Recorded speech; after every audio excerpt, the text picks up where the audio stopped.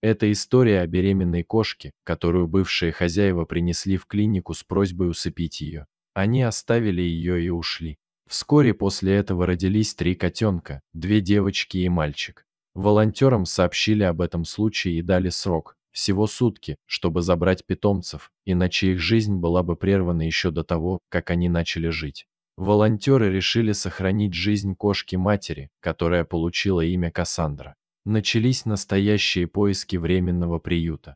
Место нужно было найти как можно скорее. Вскоре был найден подходящий временный приют, и питомцы были перевезены туда. Кассандра, мама-кошка, оказалась очень умной. Она понимала, что они живут в доме на птичьих правах и старалась не доставлять временным хозяевам лишних хлопот. Вскоре временные хозяева попросили забрать всю семью, так как они уезжали в командировку в другой город.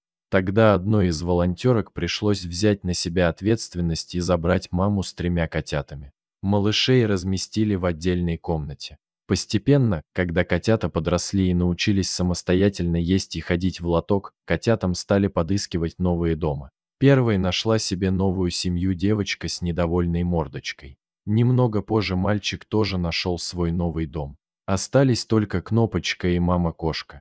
Кошечку Кассандру стерилизовали и начали искать для нее новую семью.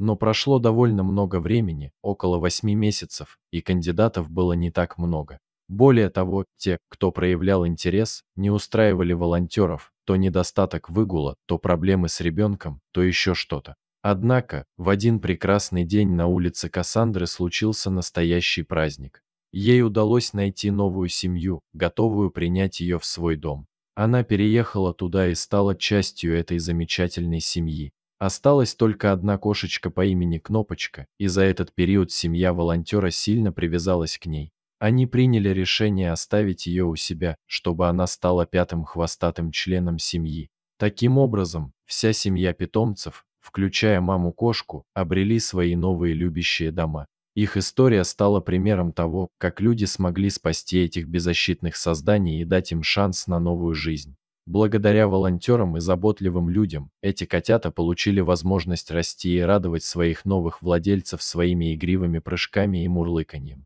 Дорогие зрители, если вам понравилась эта история, обязательно поставьте палец вверх и поделитесь этим рассказом со своими друзьями. Если вы впервые на этом канале и еще не подписаны на него, рекомендую подписаться прямо сейчас, чтобы не пропустить очередную захватывающую историю.